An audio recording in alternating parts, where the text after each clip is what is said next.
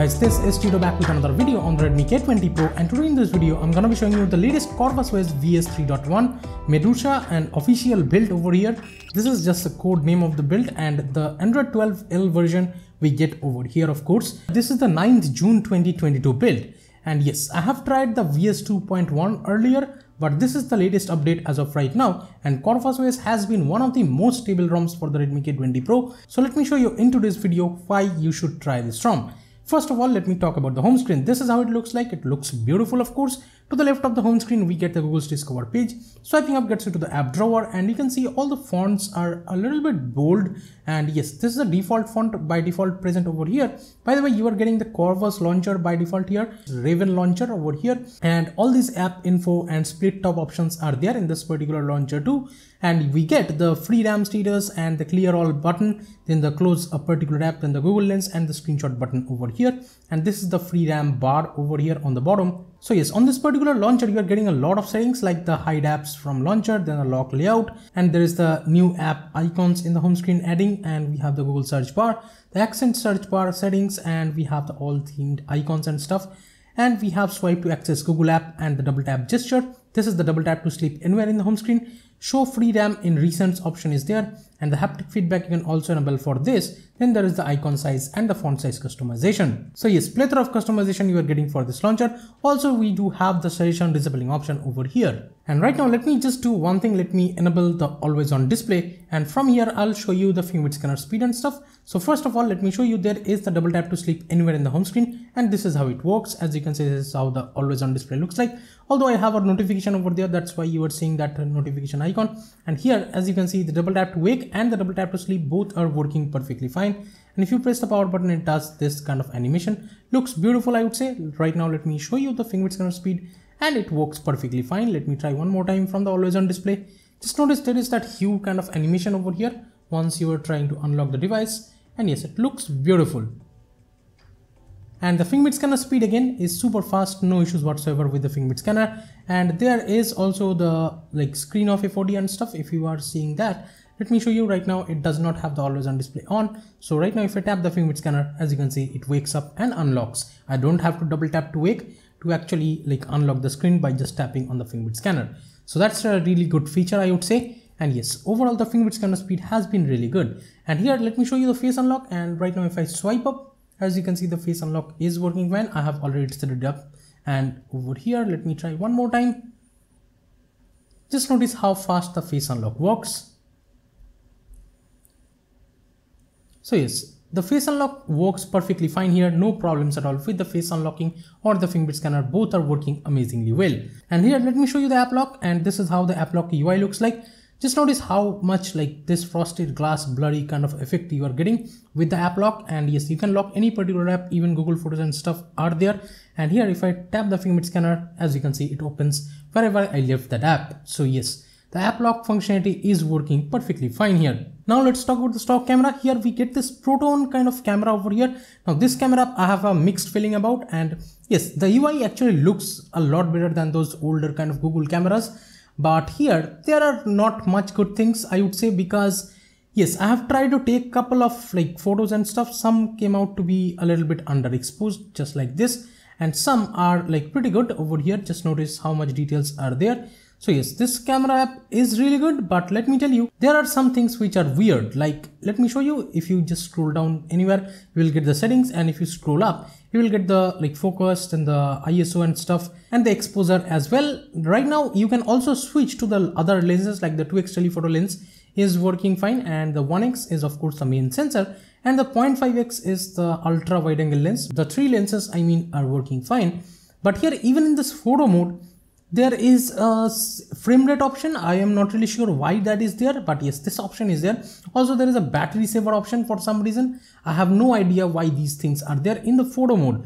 Now if i go into the video mode just notice in the video mode there is the frame rate option but it actually does not work properly. There is the eis option too. You can enable it or disable it. Also there is the battery saver mode for some reason now let me tell you that there is no like portrait kind of camera option. There is the photo, but if you switch to the front camera, let me show you even over here. Just notice it's kind of underexposing the shots, I would say. If you're noticing, I hope you can see that. I feel this is a pretty underexposed shot over here. But let me tell you, even here, there is no like background blur or the portrait mode option for the front camera. That's kind of weird. But yes, there is the night mode and stuff and the animation just looks beautiful once you're switching the cameras. So yeah, this is how the camera works, but even in the video mode, there is no resolution changing option like 4K and stuff. You can't enable it from here. But if you go into the main settings, this is how the settings panel will look like. Again, there's that battery saver mode. For some reason, camera sounds, you can disable it from here. The watermark, you can disable it and the per lens settings option is there. And also the sharpness kind of customization and a lot more color kind of things you can change. But then again, I cannot simply find a resolution changing option for videos. So yeah, this is the camera that you get by default here and it works fine, I would say for basic pictures. But let me tell you, Gcam will be getting you a much more better picture, I would say. And I'll give some links for the Gcams in the description again. And also if you want to try ANX camera, you can try that. Not really sure if that will work 100%, but yes, the option is there. You can definitely try it from the description. Also talking about the flashing of this ROM, yes, I have used the latest Orange Fox recovery and I have just wiped cache Dalvik system data and vendor and just flashed this ROM and with the disable force encryption because I have decrypted storage over here. Yes, you can find a guide in the description again if you want to flash this ROM. Right now, let me jump into the settings panel and show you the about section. But before that, let me show you this is how the settings panel looks like. Looks beautiful. We have the device settings right here, the Corvus settings right here. So you can switch just like this very like convenient I would say and if you tap here you will get this welcome screen where it will show the Corvus version and stuff just like this and open Raven disk option is there and from here you can actually check for updates things are like uh, much more different and much more optimized than other ROMs. So here inside Android version, it's not that much interesting because you are you will only get the Android version and stuff. And if you make this clock to like 12 o'clock, you will get this Android 12's Easter egg. Let me go back. The security patch is of May 5th, 2022 for some reason. It's not June security patch yet. Not really sure why. And here we have the SELinux status as enforcing and the stock kernel you can see from right here. In the system panel, this is how it looks like again. And we have the gesture settings right here. The quickly open camera is there. The system navigation gestures are there. If you go into the settings, we have the swipe to invoke assistant and this is how it will work. Let me scroll down. We have the pill length customization, but there is no thickness customization over here. But there is a haptic feedback, IME button space, and the hide nav bar option. And you also get the two button and three button navigations over here. And here we have the one-handed mode that works fine. The swipe to screenshot, and yes, that works fine too. There is the share, edit, and delete option. Also, the capture mode will appear if you are somewhere where there is a lot of scrolling space.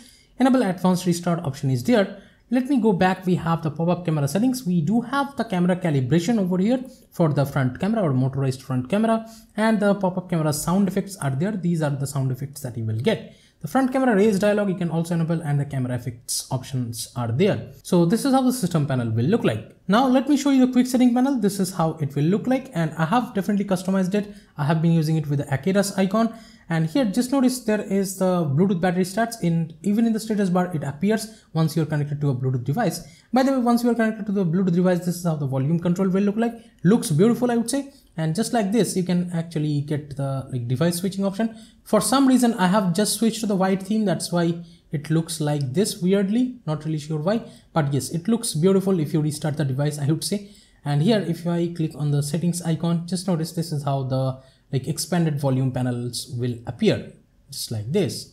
Animations looks beautiful. And again, here in the quick setting panel, the Wi-Fi, mobile data and the Bluetooth battery kind of thing appears. The flashlight option is there and the dark theme, auto rotate, night light, hotspot, etc. options are there. Always on display toggle is there. You can toggle it for charging as well. And the airplane mode, nearby share, the screen recording option is there. This is how it looks like over here. And we have the heads up, battery saver, do not disturb, data saver.